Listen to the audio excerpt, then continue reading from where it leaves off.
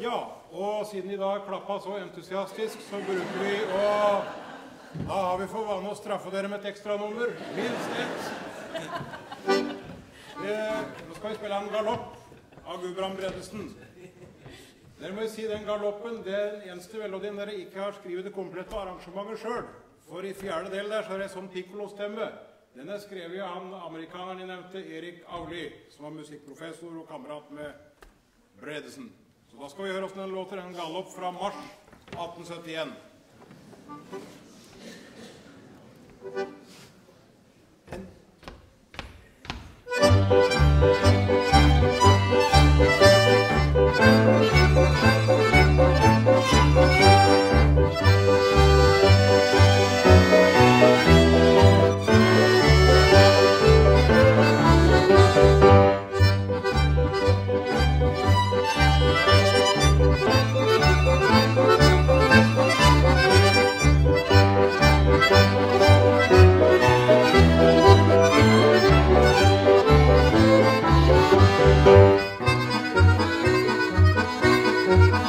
Nå